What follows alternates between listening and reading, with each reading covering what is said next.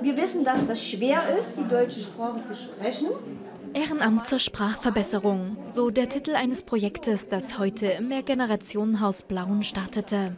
Das Jobcenter und das Landratsamt hatten dazu arbeitslos gemeldete Migrantinnen und Migranten eingeladen, die heute mit Vertretern verschiedener Vereine erste Kontakte knüpften. Ziel soll es sein, durch eine ehrenamtliche Tätigkeit die Deutschkenntnisse zu verbessern, um damit die Chancen auf den ersten Arbeitsmarkt zu erhöhen wenn ich sehr lange draußen bin, äh, lange keinem Beruf nachgegangen bin, merke, dass mich eigentlich der Arbeitsmarkt gar nicht möchte, dann resigniere ich irgendwie. Das ist doch auch menschlich zu verstehen, dass ich irgendwie gar nicht mehr den Mut aufbringe, irgendwo hinzugehen und äh, äh, dort als Bittsteller aufzutreten. Und genau, wir wollen diesen Druck von den Leuten nehmen und genau deswegen machen wir das jetzt umgekehrt. Wir lassen die Vereine auf die Bürger zukommen. Sollte das Projekt den erwünschten Erfolg bringen, wird es in der Zukunft weitere Veranstaltungen dieser Art geben, so die Veranstalter.